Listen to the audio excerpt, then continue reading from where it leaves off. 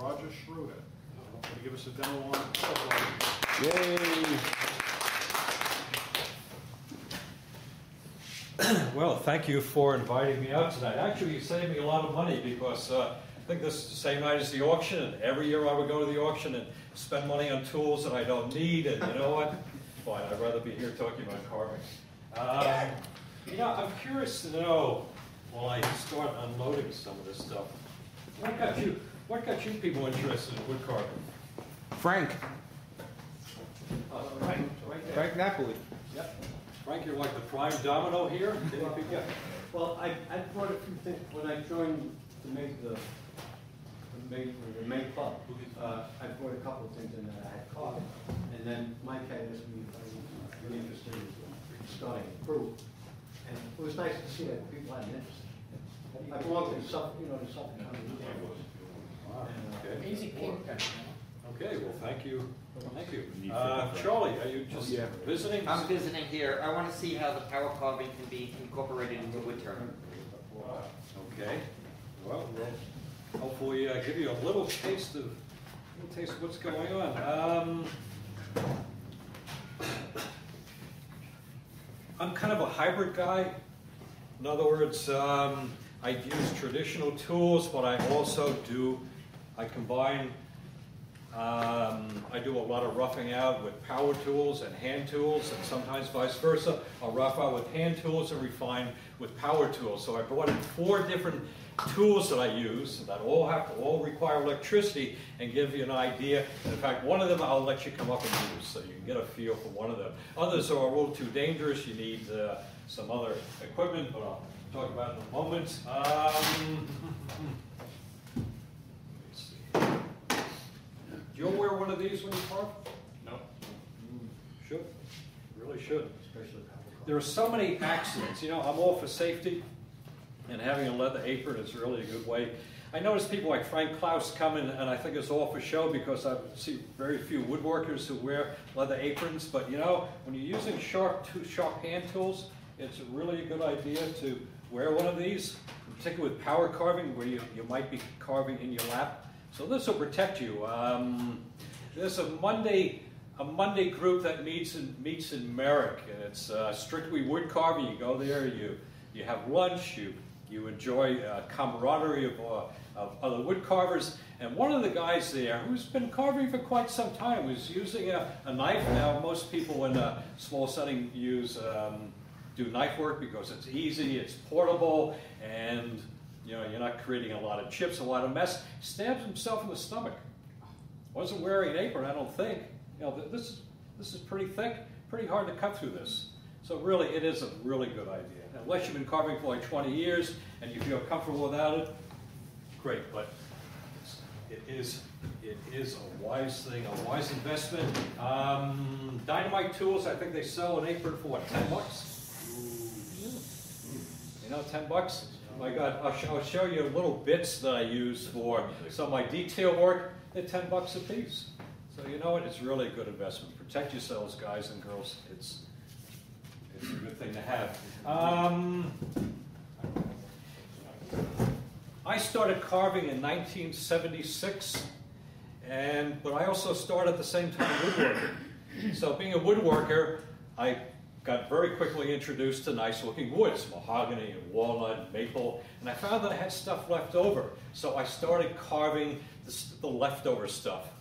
And I found that, you know, some of that stuff is darn hard to carve with the old uh, traditional tools. Let's see if I have what I mean by traditional tools. These are traditional tools. This is typically what I use for a mallet. I know there are about eight different kinds of mallets, from rubber to um, vinyl, to, I mean, you know, everything imaginable. But this seems to do a really good job. It's uh, brass. You can get them also in steel, and it, it really carries. You want to you want to feel how heavy that is? What do you use that? Even though it's for? pardon. What do you use that for? Well, The these are my these are my push tools or tools for carving, and you're simply hitting the Oh, wood.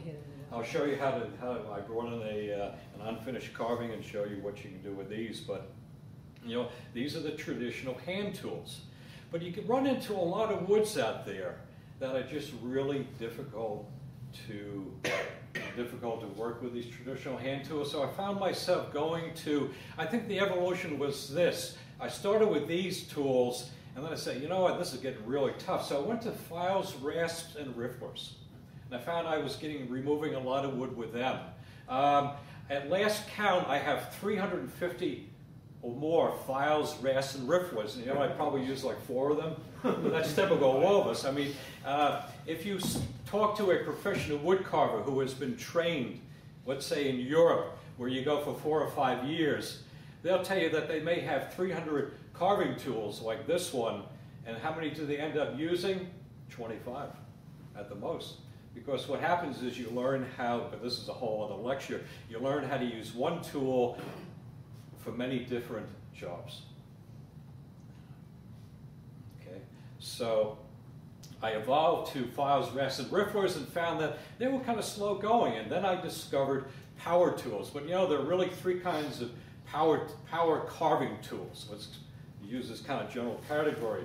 One is really the, the roughing out tool, and um, I have a, an example of that. The other is power grinding, where where you kind of um, you're taking the place of files, rasps, and rifflers and using rotary tools to grind away the wood. Slower, but you know, a little bit more refined. And then there's power sanding, and I do an awful lot of power sanding, which can also create nice effects and give you a nice smooth surface. Because imagine trying to get a smooth surface with these tools on something like maple. I brought in this unfinished carving, which is maple, and believe me, I, I haven't carved a wood as hard as this hunk of maple since I once did a, um, I did a little sculpture out of lignum vitae. Lignum vitae, I can only get a, a little chip at a time. I ended up using, those of you familiar with carving tools, a number three tool that was a half inch wide. That's all I could do. Anything this big just bounced off the wood. So you kind of evolve, you learn, you see what works. I still like using these tools for uh, a lot of work, but boy, when I can do some power grinding or sanding or even some power carving, I'm in, you know, I'm in great shape. Um, uh, where to start? Incidentally, if, if I miss anything, you all get a copy of Woodcraft Catalog? They have a couple of pages devoted to uh, what they call power carving, and you can see in more detail some of the tools that I brought in. Um, and a little bit more description, the power. I don't have all this stuff memorized. I know what the tools do. I know how effective they are. But here, you know, it, you can probably phone in or check woodcraft.com on the internet, get a catalog sent to you. And you know, it's also a good reference. I don't always uh, order tools from here, but hey, you know, if I want some resource or some reference and good uh, background material, I go to this. Um, what do you think the ultimate carving tool is? May surprise you. Well, before I, let's see where I have it. Before I, uh, let me start with another question, I guess, or, or add another question. How many of you have been to Cooperstown in the last 25 years? When you go in the main entrance, what do you see? Think, come on. Big bat. Big bat. Big bat. Uh, A couple sculptures in the main entrance. What Yeah, sculptures? the stairway. I know, I know, yes, there's, there is two sculptures. Well, this is one of them, Babe Ruth, when you go in the main entrance, and you'll see also a sculpture of Ted Williams. These are life-size, they're made from laminated basswood. I think most of you have probably worked with basswood by now. And you know, these are big blocks. How were these brought down to size? They're brought down with a chainsaw. Take another good look at this. Most of the roughing out of this life-size sculpture of Babe Ruth was done with a chainsaw. Why a chainsaw? Because there's no other tool that's going to remove wood like this one. Can't use a bandsaw because you need a bandsaw, my God, that weighs about 8,000 pounds and is, is half as big as this room. But a chainsaw can really do an awful lot of wood removal. So I think that next to with a, with a your typical shop um, shop bandsaw is probably the the chainsaw is probably the biggest, the best of all the power tools. But you know, that's for big stuff. Most of us aren't using. I've done a few things using a chainsaw, very effective. I find it very dangerous to use. I find it's messy. Um, you know, just a lot of a lot of things you have to weigh with it. But boy, you know, there are, aren't too many things that beat that. Um, little anecdotal story. I was out I think it was 1988, I was visiting somebody in Gig Harbor, Washington. He said, hey, you want to go and see a, the results of a chainsaw competition? Well, out in the state of Washington, there are, they have these trees that are four feet in diameter, so you have a lot to work with. Now, you can't put a pattern on a tree because it's gone. As soon as you start chainsawing or sawing away, you've lost it. So in other words, all up here. You have to visualize. But I was, I was watching what this one guy did. Was- He was a winner uh, using probably a four-foot chainsaw. Out of this huge section of log, he carved a skin diver in reeds. It was awesome. I say, how can anybody do that? But you couldn't do it any other way. If you did it with these, something like that, with these traditional tools, my- you'd still be working on it. That was 21 years ago. So, you know what? There's a place, there really is a place for power tools. Um, where should I start? How many of you have a router? Almost everybody does. No router? No, he has not used that yet. No. you don't have a designated router for her? A designated router, no. She has, the- well, I guess she has the drill. E- Even my wife has a designated router. Something to think about. Anyway, most of us have a router, and you know, this can be really an effective carving tool. If you're doing something called relief, you all know what relief carving is? It's where you're taking basically a flat, in most cases, a flat board, and you're relieving. You're removing wood, usually in layers, or you're, you're leaving enough so that something is raised or at different levels. Imagine a landscape where you have a sky, you have a barn, you have a tree, and then you have a stream in front of that. You're talking about four different layers. You can very effectively rough that out using a router. Now, I'm not, so- you know, freehand is okay, but there are, are some tricks to this. Um, I didn't bring in a landscape, but I do a lot of these uh, nautical eagles. This is missing the head, but this is mahogany, a little tough to carve with just hand tools. And also, I like to raise the edges, the top edges of the wings. Now, if I did all this by hand, got removed, we're talking about almost three quarters of an inch of wood, man, I'd spend the better part of a day doing that. That's a heck of a lot of work. So the thing is, using some power carving tools, in this case a router, how can I really effectively cut this away? Well, I came up with this idea. Actually, no, my idea, but a me how to do this using a plexiglass base, which will sit over which will sit over piece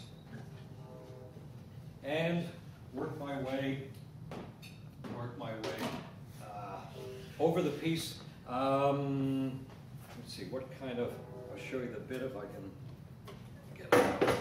Straight fit? Turn it over, you see it. Yeah. Okay. Um, I don't know why it's Yeah, it's a, uh, like a floating. Can you all see the bit? I use one of these spiral Spiral bits. cut, yeah. Spiral, spiral cut. Interesting, it leaves a kind of a, like a, like a, a wafer, like a cereal, you know, little, like, uh, like a, like a cereal flake. It's very strange. I've never seen anything like that. Usually you- when you use a router, you get all kinds of odd, odd looking um, chips. But this creates something different, and it's very, it's very aggressive and very, very easy to use. So, for, Up spiral or down spiral, right, right, right, you know? They make them both ways. Um, I think I use the one that brings the, the stuff up, That'd be an upside. up, up spiral. I think that's it. Um, three quarter inch plexiglass, I'm sorry, three eighths inch plexiglass. Why three eighths? I found that quarter inch tends to sag. There's a lot of weight with this router. I mean, you can use a lighter. Trend, Trend makes a uh, lightweight router, which you could also use, but I took what I had at home and it doesn't flex. You don't want half inch, that's just too much, and you're losing some, some of the room with a bit. Um, now, these things, I guess are, you call these riser blocks, and so you sit over the piece and you eat the wood away. I'll show you what I did. Well, Why the keyhole shaped uh, opening? Pardon? Why the keyhole shaped opening in the, in the plexiglass? Um, it's to suck the dust up. Oh, okay. It doesn't, I find that I don't have a powerful enough router. I always joke about having a, a cheap Lowe's uh, shop vac. And the first level, I take this off at a quarter inch at a time. The first level, the, the router, the, the vacuum will suck the wood up. Come to the second level, not so much. And by the time I get down to like half inch or three quarters of an inch, I'm hardly getting any wood at all. So I got a mess, but you know what? I just stop, sweep it up. Two, if you want to feel, you want to feel how smooth that is, and pass it around. To take that much wood off probably took 20 minutes. That's pretty fast. Roger, do you move the router and the thing, or do you move the wood underneath the router? No, I'm moving this. Oh, okay. In other words, I'm going over like this, over the piece. Um, I use a lot of MDF, so you see, I screw it to the MDF. MDF is cheap, you get it at Home Depot, Lowe's, it costs what, four dollars uh, for a, you know, two by four sheet? And when I ruin it, I throw it away and I don't feel I've lost much of anything. Of course, you've gotta be careful when you put the screws in that you don't put them in too far and you end up hitting your, hitting them, hitting the, uh, the points with your router bit. Um, so after that, now that, that was not done, um, that was done just with the router bit, Joe. But if I want it even smoother, and you'll feel that's pretty darn smooth, I'll take a palm sander. You know, another good, another good power carving tool. One of the, um, what do you call the round kind palm sander? Bring Orbital, orbital. take an orbital, you know, cheap orbital, uh, I think I have a DeWalt orbital palm sander, and just go in and smooth it out, and boom, I have a nice, flat, reduced surface. So, pretty effective, I've saved myself hours and hours of work trying to go from, from that, a solid block of wood, step down to get a smooth background. Um, incidentally, I, I could use power carvers in here, but by that point, I go with uh, traditional hand tools. So, that's, um, this is one of the first power tools that I've, I've come up with, and it really does work well. Um, I did a five-foot eagle, but I wanted to, a flat relief carved eagle, and I did it with this, and I think the whole eagle took me about 45 minutes by hand, an entire day to get it down easily. Would you say, Frank? If you, yeah. Especially, I don't like to use, uh, really hard wood, so. Yeah, you see, that's, that's, that was a problem I ran into. I was finding that, yes, I love working with basswood, and there's something called sugar pine that is really, really soft. And in fact, there is no, I don't think there is any power tool, power carving tool that can beat me on sugar pine with, with hand tools. In other words, I think I'm as fast or faster using these traditional guys. Um, But if you want something, you know, that looks different and nice, that's not painted, gee, mahogany is a great wood to work. Uh, walnut I found to be a lot harder, a lot more difficult. I remember someone giving me some quarter sawn walnut. It was impossible to carve. Big, big wide pieces, but man, it just resisted. Um, maple is just ridiculous. I mean, just so darn hard to work. I'm not talking about rock maple, I'm talking just soft maple is difficult. Um, other woods, butternut when you can get it, but uh, butternut's a great wood. It carves very easily. It has a nice looking brownish grain, but there's a disease out there that's um, it's a virus that makes the tree um, susceptible to wood borers. So what's happening is people cut down the trees and it's full of these little pinholes. You know, maybe for, for some barn siding like wood, but it's really, it looks pretty bad. So a lot of the butternuts are just getting uh, ruined by that. It's kind of a shame. It's one, really is one of my favorite carving woods. So again, using a router, this was uh, what, eight quarter, eight quarter wood. Uh, wanted to raise the, the wing edges, used the router, worked over three stages, stepped it down, and voila, in 15, 20 minutes, I'm down to a really, really smooth surface. Boy. And the, that spiral bit is about, I know you can get bits that are just flat on the bottom, but the spiral seems to work really well. It's just so aggressive and so easy to use. I was amazed at how quickly, even the hardest wood, it just really nicely eats it up and, and it's gone. Um, Now, you're probably wondering, what is Roger doing with an IV stand? Anymore? You were in a hospital and you refused to give it back to them. I walked out with it right attached to, attached to the, uh, to the uh, needle in my arm. Um, Many, many years ago, I met a bird carver who was using one of these uh, for a power carving tool, which is really the one I use more than any other.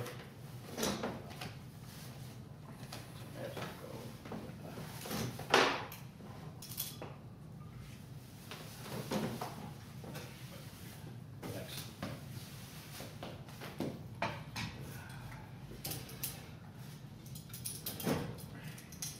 Gotta give me something.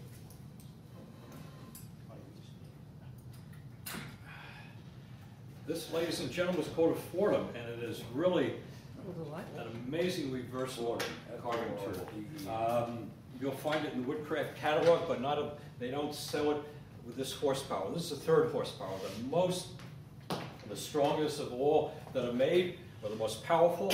Uh, The Foredom was developed, I believe, for the dental industry um, and the jewelry industry. Until, I, I think until more powerful tools or faster tools came into being, this is, this is all that was around for a very long time. It has, uh, it's been around for decades. You don't see them much until the 1980s when bird, bird carvers discovered these things, these Foredoms that you can do an awful lot of roughing out uh, quickly. You have woods like, someone mentioned, who mentioned Tupelo before? Steve, Okay, very hard to carve with hand tools, but with power tools, it, it's, you get some really nice results. Uh, Tupelo is one of those strange woods that has interlocking grain, so you can get, you can cut cross grain with power tools and you get some really nice details on it without having to worry about breakage. It's almost like flexible in places. It grows in the swamps, much of it comes from Louisiana, and really, uh, you know, if you go to look on on, do some Google search for birds, you'll see some amazing things that were done, mostly in, uh, in Tupelo. Um, This unit, incidentally, has a foot switch.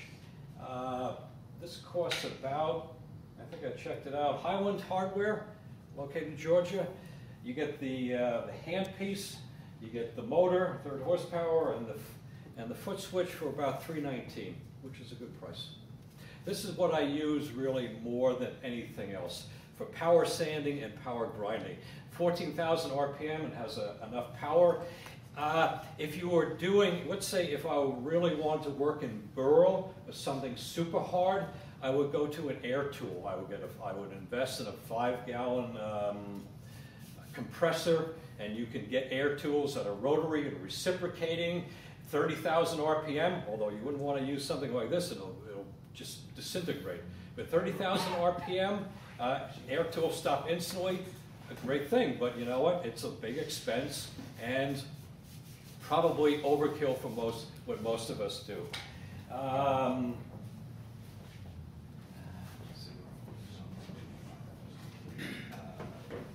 Let me show you some of the bits that, that make this. Now, I have on, on here You've got a sanding attachment. Can you all see this? Get a good look at it? I do a lot of power sanding, and this, this is the piece here. I'll show you how it comes apart. Let's see where.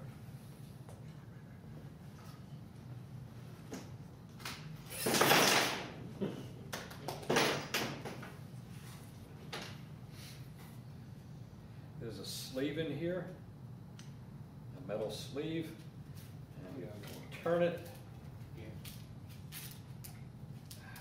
What's the shank? pull the What's the shank out. What's the shank on that? Quarter inch? Quarter inch, yeah. And here's a rubber cushioned, feel it? Okay, soft.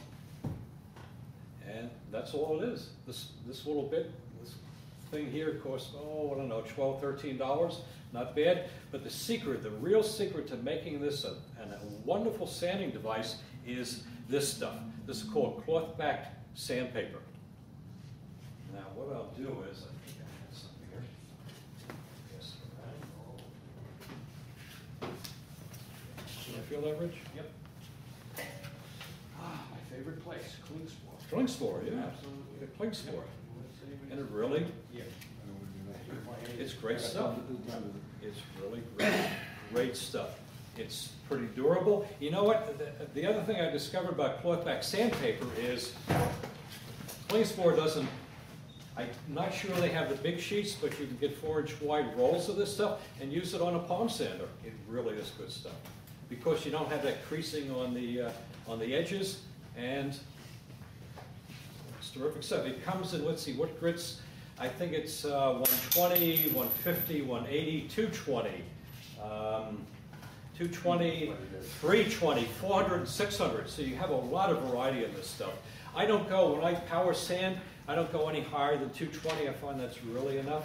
But I'll pass this around too so you can see what, that is. That's 220. What Steve has in his hand is 180.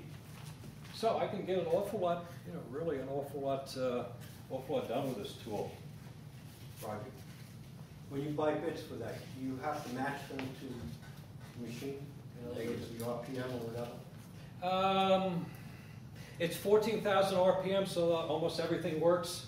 If this were an air tool with 30,000, man, I think you'd have a lot of metal fatigue in your, your, your sh- shaft would tend to get out of, uh, you know, out of square, whatever, very, very quickly.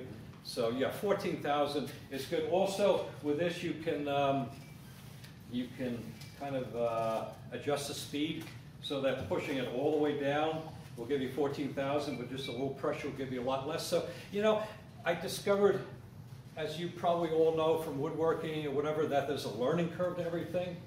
I think the biggest mistake I always make when I get a new tool is to see how aggressive it can be. You know, you gotta go in there and you gotta really, you know, go at it. But you know what? It's, it's, I think it's better to go slowly with something. I, um, I even use a disc sander. You know, you all know what that is. I invested in a Delta 12-inch disc sander. I do shaping on that thing. It's amazing. You know, I, even though it's flat, you can still do some. You know, take a piece and you can get get some um, some major major wood removal on it. Well, what I discovered is, I discovered is, is that if you're not careful and you got a really fresh 120 sanding disc on there, man, you've lost too much material. So what I tend to do is everyone say, oh, you shouldn't do this. I tend to, I tend to let my sandpaper wear out, and that's the best bet. When it's kind of worn, and then it's not so aggressive, then I can kind of take my time with it. But you know, this, I mean, all our tools can be very aggressive, and I think it's learning really to, to take it easy with things. Um, show you some of the other tools.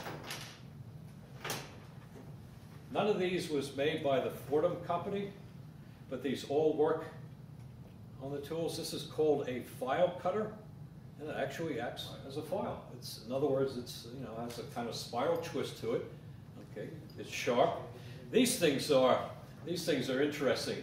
These are called um, Kutzall bits. And what they are is, you can pass it around. They come in all sizes and shapes. They're teeth. So, some of these you can buy are extremely aggressive. I mean, they are really, really aggressive wood hoggers. But these, have you carbide touch it? Yep, it's all carbide rich. And the ones that aren't so toothy and sharp do, you know, are a little gentler with the removal, but they all work very, very nicely. Joe, you want to pass that around? And if you want to take a look at that. When you cut with that one, does it, does it leave a really rough finish? Uh, believe it or not, no. If, because that is not an aggressive Kutzall bit. That's, you know, pretty, uh, that gives you fairly smooth results. And then you can follow up with a sander. And you got, you know, and you're in pretty good shape with that. Um, the problem with that is, How do you clean these, Rod? You burn it off? um, I don't think, one of those latex jobs that- that you use for cleaning, um, Oh, sanding. sanding Yeah. stuff, that's what I use on it. Um, if you, Bob, if you were working on something, uh, and like a really oily wood that gets stuck in it, you'd probably have to use a blowtorch. Yeah, if you'll burn them off, yeah. them off, It Doesn't yeah. hurt the material, I guess? Because they, they will get clogged, but you know, most of the woods I use, like mahogany and walnut, um, maple, butternut, They really don't clog. I don't do much with rosewoods because it's just, you know, they're just too darn difficult. One of the things, aside from the apron, when we're talking about safety, is using one of these things. You all, have you, do you all know what this is? Believe it or not? Hi. Yeah. It's a Kevlar glove. This is interwoven with steel threads. Um, anyone have a knife? Nobody has a knife? I would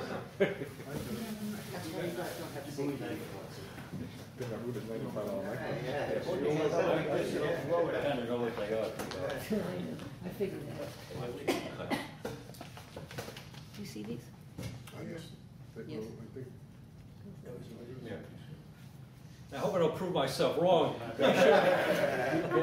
Otherwise, anyone know the emergency number for the uh, Kings Park ambulance? You should, you should really be able to, be able to go like this without, without cutting yourself. Okay, that's, that's the advantage of Kevlar. Um, if you stab yourself, it'll probably get between the weave, but if you're doing this, you won't, you won't have a problem. Um, if you give me one of those Kutzall bits or the other one,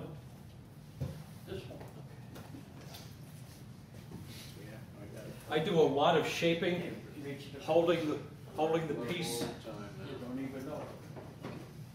holding the piece in one hand, like this, and I'm working here with a tool, and I'm going like this, and then boom, all of a sudden, I end up feeling it gets caught in the glove, and the whole thing kind of gets, gets knotted together.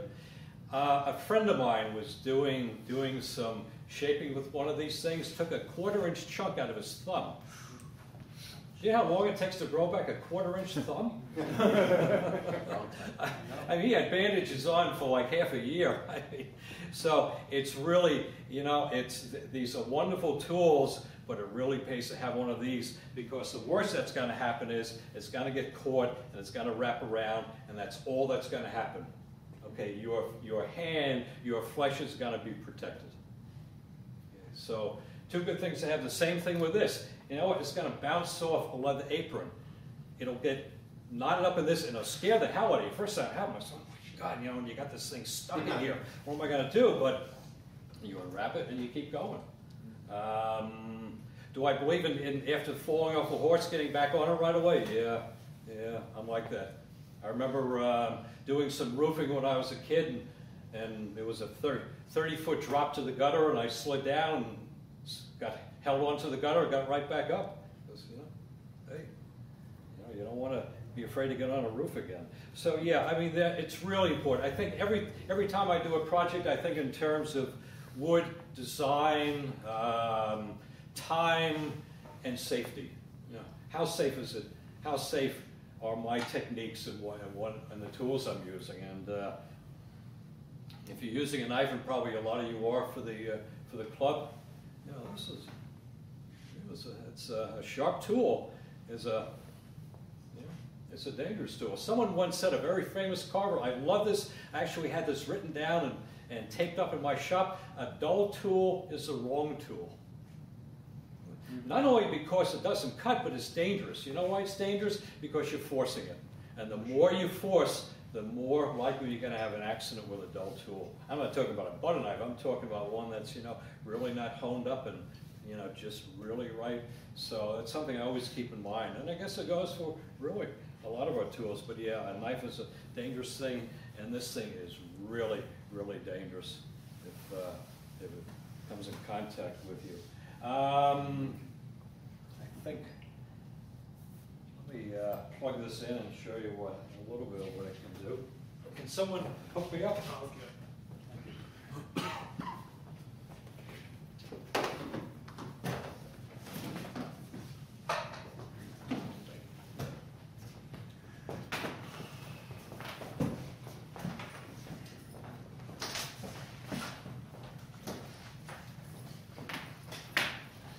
Incidentally, the way you take the,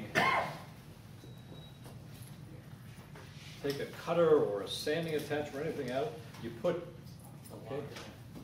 This should have been attached, actually, this is a slightly different size wrench, but you put this pin through the, uh, through the handpiece, you take a wrench, quarter turn, and out it comes. Take, uh, where am bit, put it in, you can put it down all the way, you can bring it out a little bit. And up. Eighth of a turn, and you're in business. That's all there is to it. It's really a simple tool, flexible shaft, because you know what?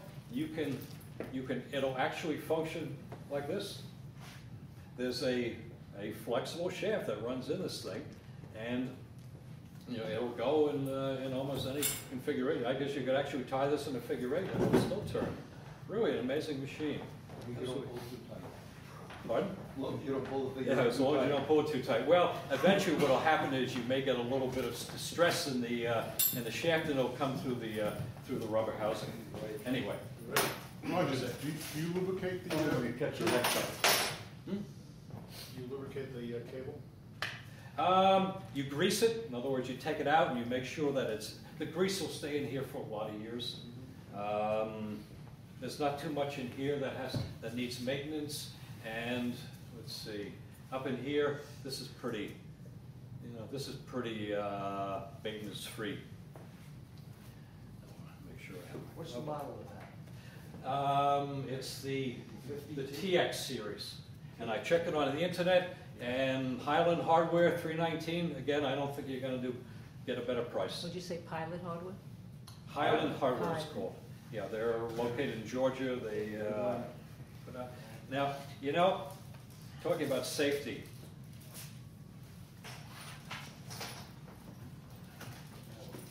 Here's a, here's a, here's a dumb thing I did. I was, I put this, I put this in, okay, had this hanging here, left it down like this, stepped on, stepped on that. Now, you know, that's okay, but what happened is, what happened is I had my hand near it, and this chain wrapped around my hand. It looked like I was in some kind of a bondage movie for about three weeks. I had all these, uh, all these uh, chain marks on me. So, you know, I learned. I am very careful about not leaving this thing in here. You pull it out and put it aside, and you're okay. So, if you see, you put it on.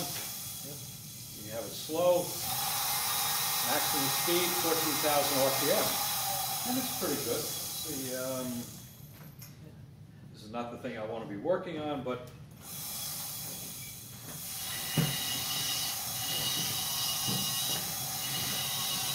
Well, now it won't stand straight. it won't stand straight. Well, it won't stand straight, but just to demonstrate. Oh, Bob, thank you.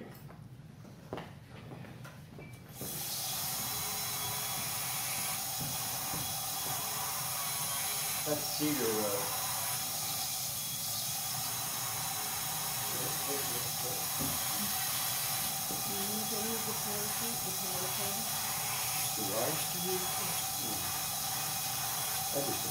You know, we may think it's kind of, we may think it's kind of frivolous to be using power tools, but I've been giving a lot of thought to this. As we're getting older. Steve, you're not getting older, you're too young. You're too young too, you're too young, you're not getting older. When you get older, like I'm in my sixties, I find that my joints are aching when I wake up in the morning and I'm tired and I'm stiff. And you know what? What? Yes, myself, where are my, where are my traditional carving tools? What do I do with those things? Down the right-hand side. Undecided. you know how to get home, Roger? Pardon? You know how to get home? What do you think, what do you think pounding on these things is, is, is doing to your joints after a while? You know, it's a real, it's, I'll tell you, it takes its toll. If I spent like the last twenty-five years, which I have done, you know, doing this kind of stuff on hardwood, man, you know, eventually you get what, carpal tunnel, tennis elbow, you get shooting pains up along here. So really something to think about in terms of carving for the future. If you, if you really want to do this as a lifetime pursuit, it's really worth uh, considering, you know, taking some learning to see what you can get done with power.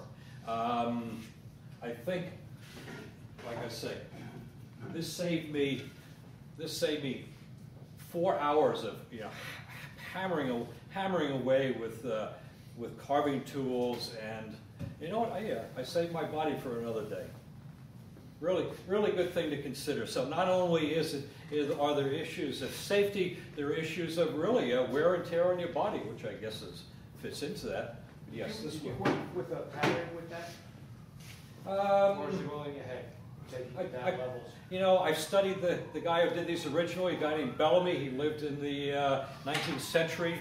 He, um, he carved for about 60 years of his life. If you found an original Bellamy eagle somewhere and put it on auction, they're going for over $100,000. Over 100,000. That's just for his bread and butter 24-inch eagle. Very simple thing. You know, a head, some, some feather definition, something like this. $100,000. Um, some over, some go, going $120,000. And one big one he did, four feet long, went uh, on auction 19, let's see now, 2005, $660,000. The reason I bring this up is I'm very, very interested in knowing what, what becomes of our stuff. You know why, the, why it's so high? Why they go for such big prices? Americana. People really love Americana, and that's what we're all doing. We are all Americana folk carvers, whatever you want to call us. And you know what? I'm hoping that in another hundred years that our stuff won't be just discarded, but will be appreciated. And you know, you know, you see it on the Antiques Roadshow. Your great great great great grandchildren will see it on the Antiques Roadshow and say, "Hey, yeah, it's my great great grandfather. He did that." You know. The guy says, "Oh, worth hundred thousand dollars," or maybe they say, "Uh, twenty dollars." um, You can tell him and get it off the table. Bob, what is it? Cedar? Yes. Yeah, cedar is pretty easy to carve. I'm not sure that um, you know I wouldn't put this in a vise and just very quickly, very quickly uh, carve away at it. But you know what? I'll tell you, for more symmetry and thickness, that goes good.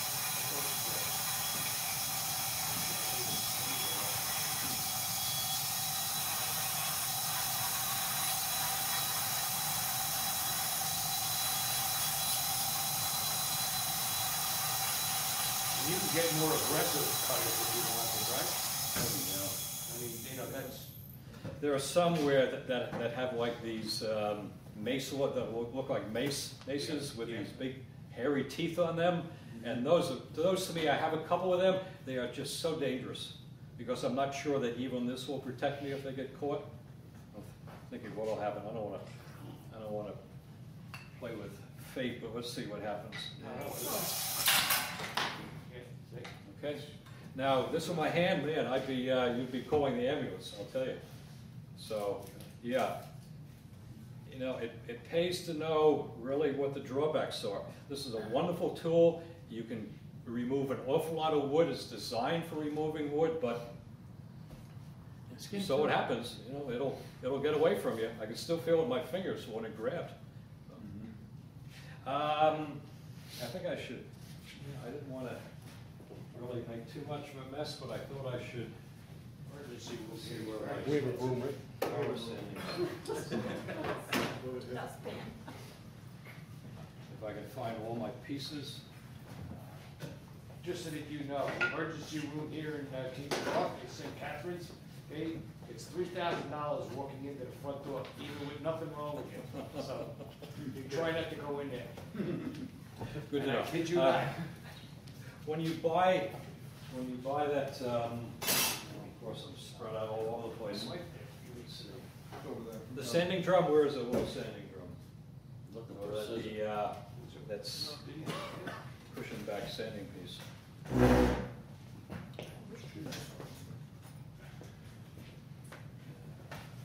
It's underneath the table. Isn't that? Oh, yeah.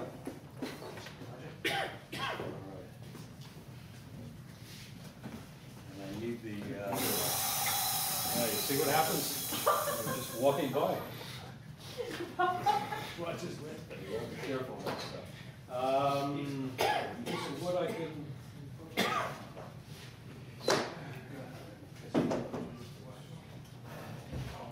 When you buy this, this sanding attachment, you get one of.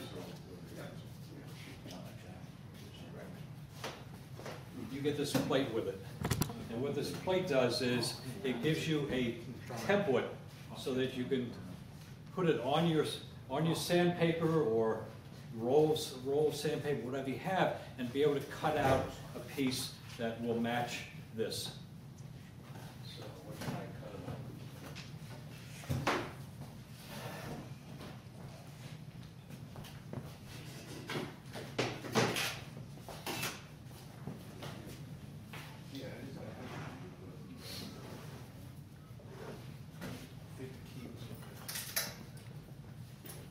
Roger, did you ever hear of a place called Smoky Mountain Carvers? Yep. I guess if you go through enough catalogs, you always find something that the other catalogs don't have. I was there some years ago. Anyway, remember, just you put the pin through with this Foredom handpiece, with the wrench on, quarter turn, and boom, you're back in business. Now, if I look at these there, right? Smoky Mountain What's this? Uh, now we're organized now. What do I do with my? The drums. hold the end. Smoky Mountain Carvers. Okay. Then, keep this,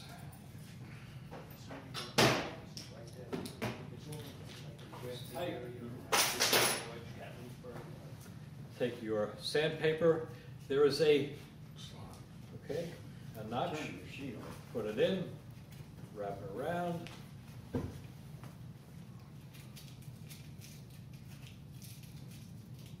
know, I picked the one piece that has Keep it two seconds. has a seam. All right.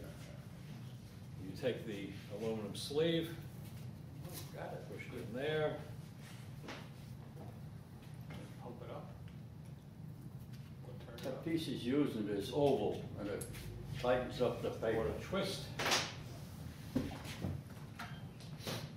in charge of the plug it, uh, Thank you, thank you, because I know I'm gonna step on this. He's the ambulance driver. And you're in business. So I should wear my glove. Although, you know, this, this won't cause really, you know, too much damage. You're not gonna get really too, too chewed up with sandpaper. Even one twenty grit, this is one eighty, but I don't worry too much about that, although I still wear a glove. Your fingerprints.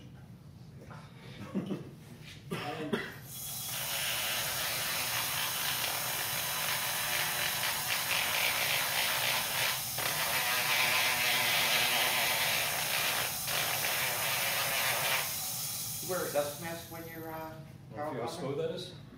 You wear a dust mask when you're carving? And hearing protectors. You know, after, after what, uh, I started carving in nineteen seventy-six, so with that and woodworking, my hearing has really taken a beating from, you know, decibel pollution or whatever you wanna call it.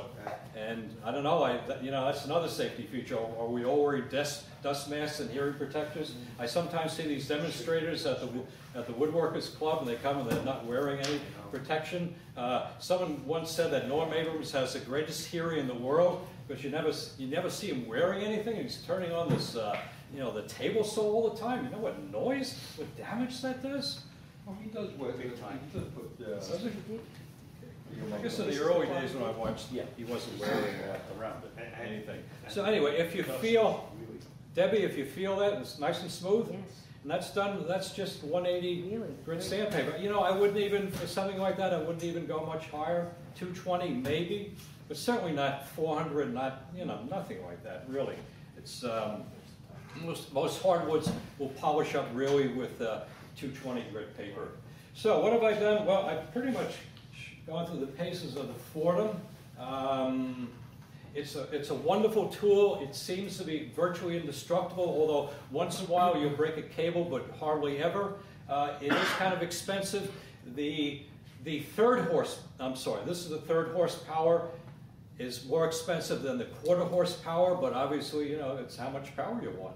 So I, actually, I got this because I reviewed this model for a magazine, so that was a perk, you know, you get the stuff for free, and, and, you know, live with it, but, yes. Does that one have a switch on it, on or off? Nope, it's all down in here. That's the only way. My Oh, old one has the switch, which is nice.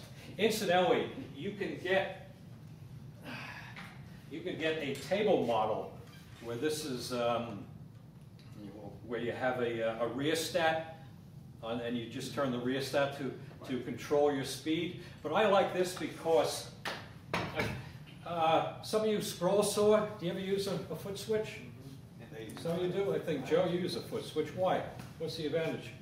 You can control the speed with it, and, uh, you take your foot off the switch, it stops. Yeah, I mean, how fast does this take? It keeps both hands free. You got both hands on the.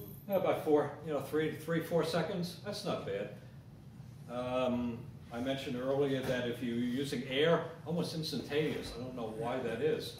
in other words, a compressor with air, where you're getting really a tremendous uh, power on it. So, yeah, I mean, you know, it's, it's, it works well, pretty much indestructible, and it was really a good investment. I just love this tool.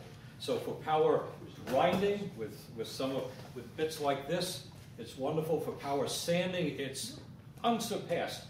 What I've learned over the years of, let's see, how many years have I been using this? About 20. Um, you can get, if you let the paper, let the paper extend over the, uh, over the rubber cushion shaft, you can get into really fine details. They also make this, this is three quarter inch, you can get a half inch. So you get some really fine areas with this, and it's, it's just great. It really is. It's just, can't say enough about it. Um, there is a smaller, I guess you might say a What do you smaller. use? Right. The detail, small. I'll save that for later. Um,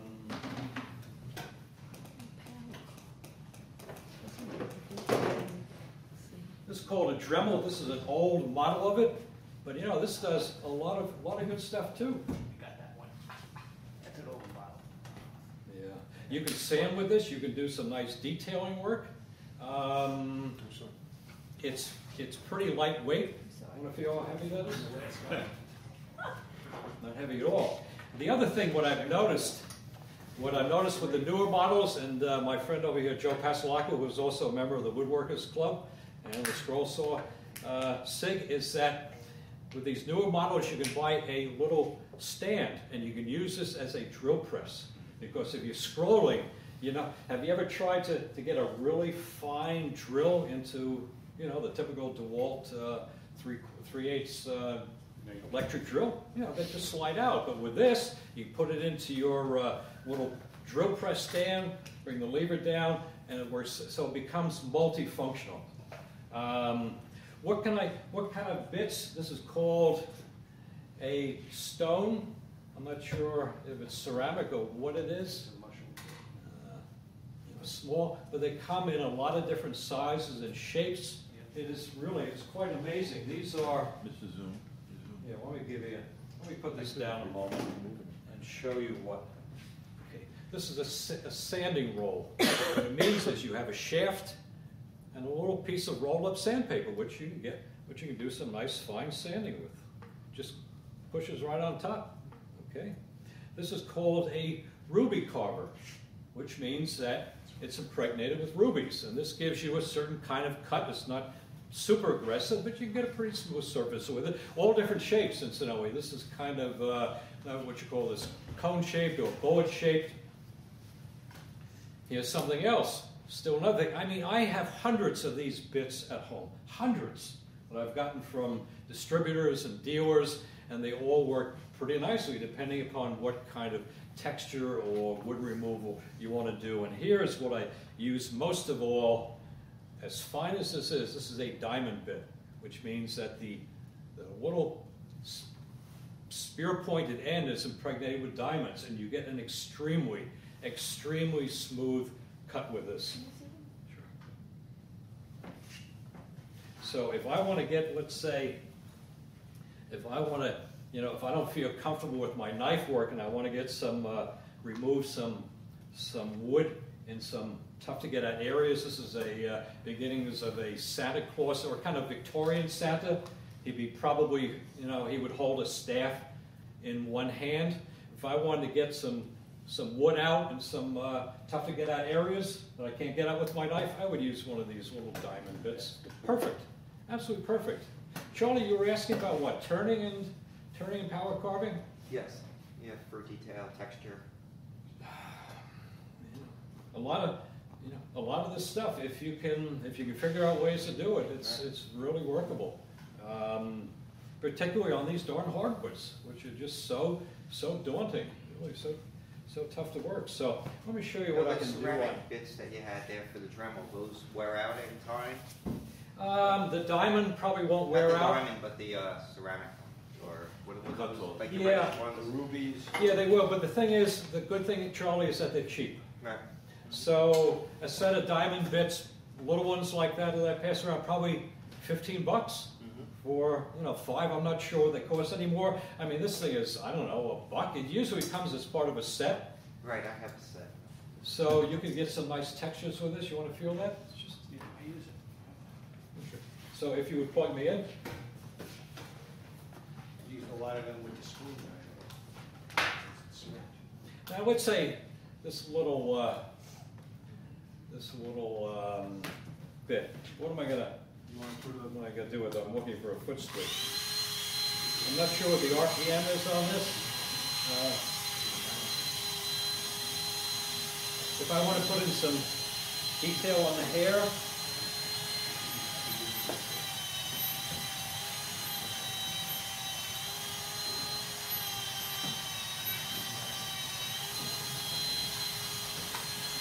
and the beard,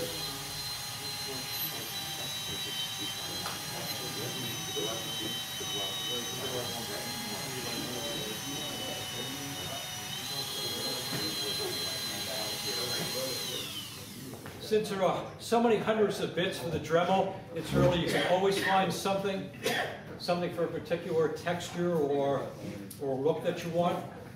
Uh, This is also pretty cheap. I'm not sure what a, a kit costs, a kit meaning that you get this plus a lot of bits and maybe some other, some other kinds of attachments. Eighty dollars? I'm not sure. Joe, do you remember what you paid for yours? Now I got it as a gift. It- It's, it's around eighty-five dollars for the, the one with the, with the cable. Oh, yes, they also have those which are like mini, mini Foredoms now. Um, I don't know, I just got the regular, uh, regular one. I think a regular one like that, it's all- They come, Dremel comes in all kinds. Yeah, yeah. Including an engine motor with a water and a flexible shaft. Yeah, there's, there's a lot you can do. Oh, incidentally, why the, uh, why the IV stand? Well, um, it's a good way, so I don't have to store this thing. It's, you know, I can push it out of the way into a corner of my shop. Um, what I also have in my shop is this. And you may, f- I picked this up from a carver. I suspended a pipe, a three, what is, what do they call it, three-quarter inch plumber's pipe, the kind you use for bar clamps, you know, when you buy the pony clamps and you, and you put them on the ends. This is called, I know, I call it a carabiner, which is what mountain climbers use, but it's basically a, a clip, and uh, I have a little bigger one. So I ran the, suspended the pipe, a four-foot pipe, parallel to the ceiling, and lo and behold, I can hang this up and I can run the Foredom, and if I guess if I had an eight-foot pipe, I could run it all, all over my shop, or, I mean, I can do pretty much it around anywhere I want. So that's an alternative, I mean, this is a very, these things, I, I, I don't even wanna guess what, what a, an IV stand costs, but it's gonna set you back a couple hundred bucks, I'm sure. But you know, a piece of pipe from the, uh, from Home Depot is gonna be what, eight bucks, something like that? For a four foot length, maybe ten?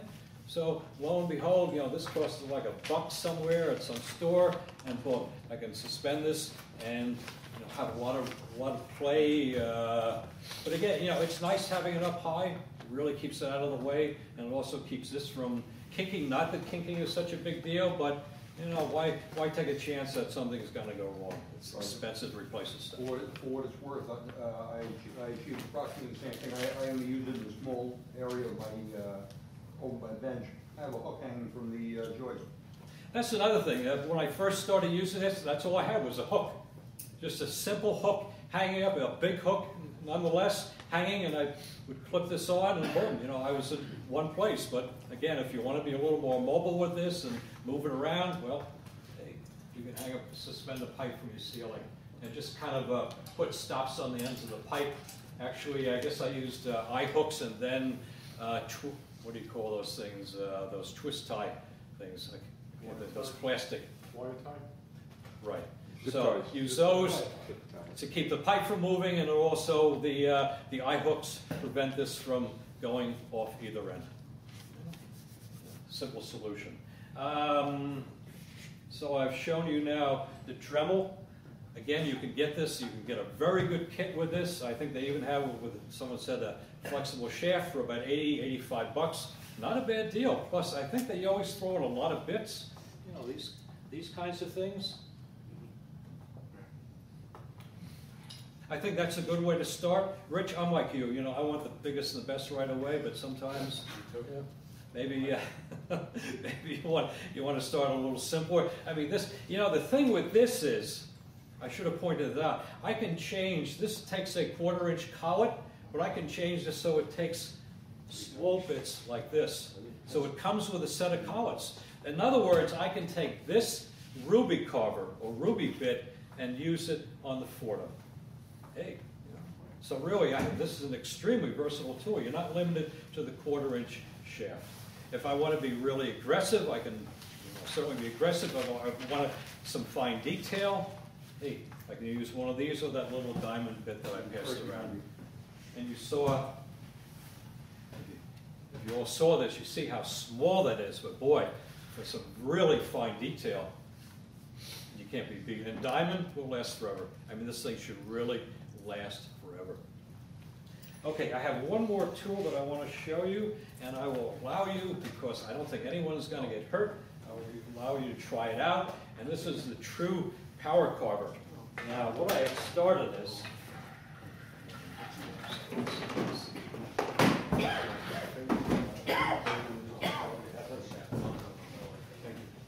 I call this my, uh, my crazy horse carving. Um, somewhere out in, I think it's in South Dakota, these people started carving this monument of crazy horse out of a mountain. And it was uh, an, an Indian on a horse. It's taken 50 years to do the head. Now, what do you think the chances are they're ever going to finish this? I think, you know, probably unlikely. This thing has been sitting around my shop for two years. It's maple. Oh, please.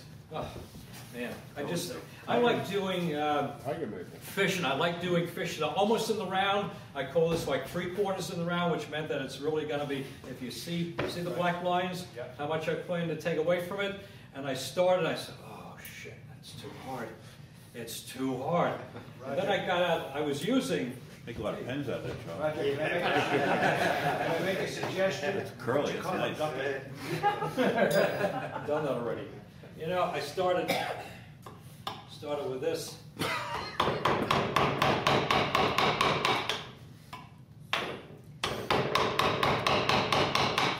And it's- in a motion. It's taken, it's taken forever, and you feel, eventually you feel your whole body vibrating. You, you spend the morning doing this. Oh my God, why am I doing this? When I when I got out this power carver, it's called a uh, an Arbortech power chisel. You can find one in Woodcraft. It's about 170 bucks. And you know what? I'm, I think I'm a little bit faster with this, but man, I mean, this it's so effortless. And again, when I set every, everything up, I'll let you come and try it. I'm, it only works when you push into the wood. So in other words, it's, it's not going like this in your hand. So as soon as you push, you feel that it's, I think it reciprocates to something like 14,000 uh, vibrations a minute. It, it really does a job. It really is amazing. So I'm going to put these away when I finally get around to doing this thing. I'm going to put these things away and I'm going to use this Arbortech power chisel. And I think I'll, uh, it's, it'll take me a while, but I think I'll get there. Um, let's set up and see what we got. Right.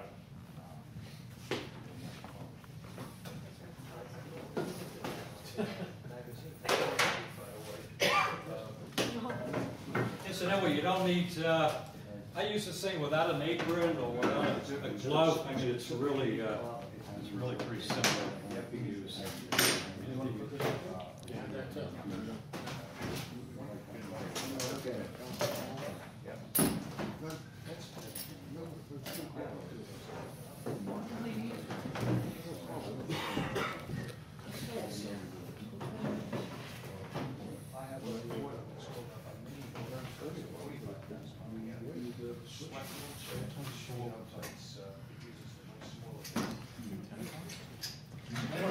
before about MDF, it's cheap. Kind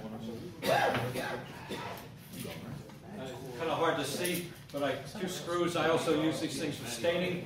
Two screws in the back, and boom, I'm done. Uh, The only problem I have with this kind of a setup is if I'm, if I'm using the hand tools, eventually the, uh, the holes get, a, get kind of big, even in the wood, with a lot of pounding, you know, then you have to go and really kind of start over and make, drill new holes, and, but not such a big deal.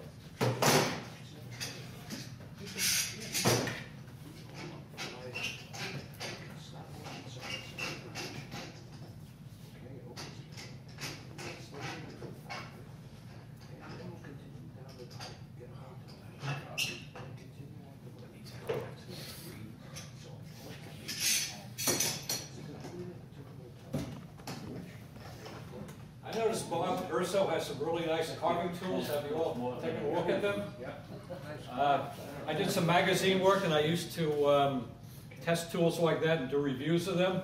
And uh, FlexCut is a good, it's a good tool. Bob also had, you have some German-made two cherries. Two cherry. They're good. Those are really, you know, I highly recommend those. Um, this happens to be from Woodcraft. This is Swiss made. These are good too, but you know what? You'll do well with two cherries. They're, they're husky. They're, they're, they hold an edge.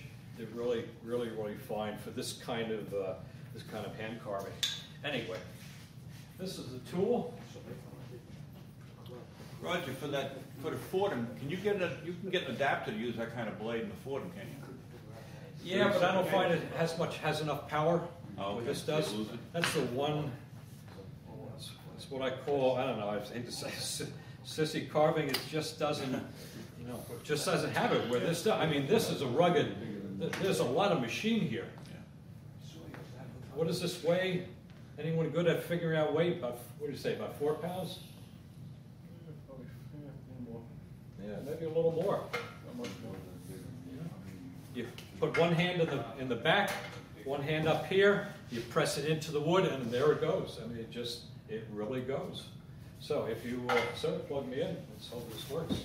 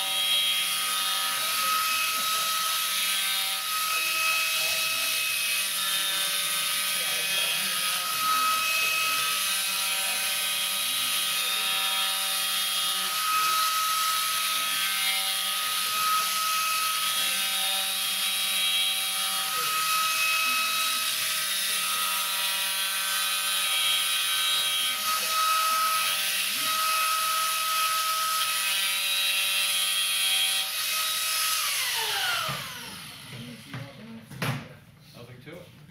Nothing to it at all. Let's go back to the old-fashioned way. You all know about carving with the grain and against the grain, you're kind of working downhill.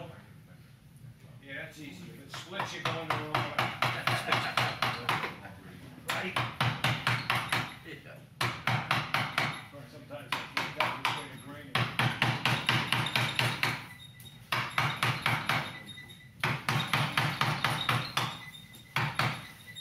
Probably as fast as a tool, but I'm breaking into a sweat and I'm feeling vibrations in my arms, so, you You're know, getting exercise. I'm getting what? You're getting some exercise. Um, I don't know that this is the exercise my body wants. I'd rather go on a bike ride than to, or take a walk than to go through this all morning and uh, really whacking away at it. It's a lot of work. Anyway, I'm more than happy to have you come on up and give this a try. I hope somebody out there. Uh, just for the sake of the tape, thank you very much for the show.